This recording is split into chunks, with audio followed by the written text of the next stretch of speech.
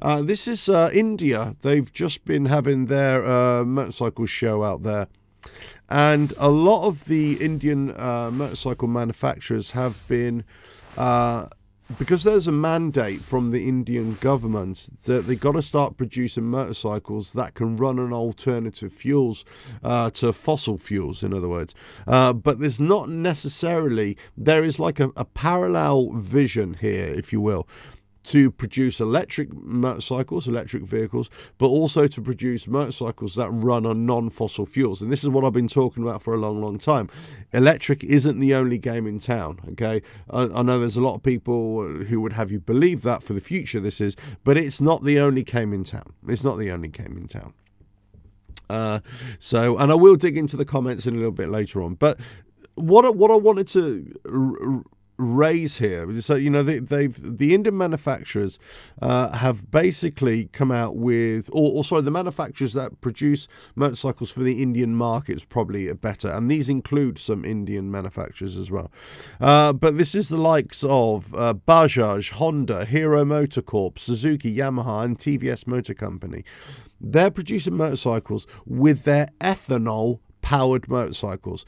So the Honda XR3 uh, 300, right?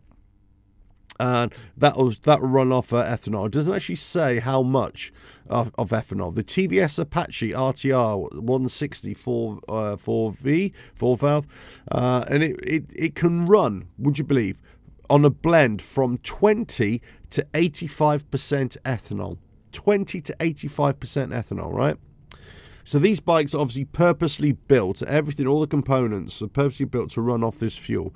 Now, if you consider in the UK right now, you either got E5 or E10. That's either 5% ethanol mix or a 10% ethanol mix, right? And a lot of the manufacturers are moving up towards a 10%. They're trying to push it up to a 20 to a 30% ethanol mix already, right?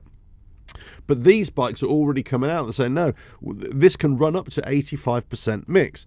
The Bajaj Pulsar NS1, NS160, uh, that's, uh, yeah, it's E85. So a, E85 compatible. Anything up to 85% ethanol. Yamaha Fazer FZ15, right?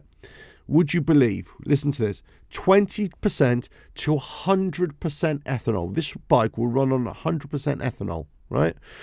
Suzuki Gixxer uh, 250. Uh, E85, 85%.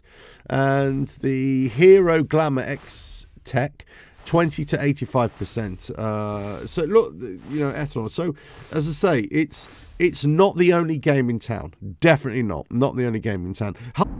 Thank you